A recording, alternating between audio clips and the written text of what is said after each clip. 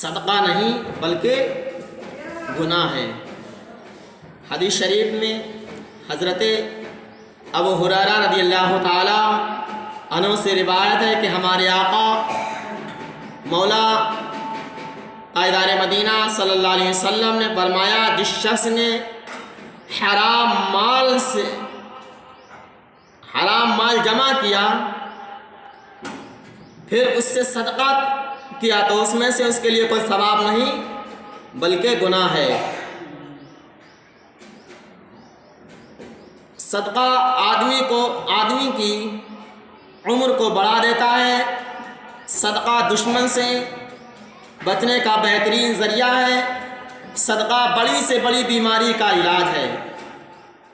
अल्लाह वसल्लम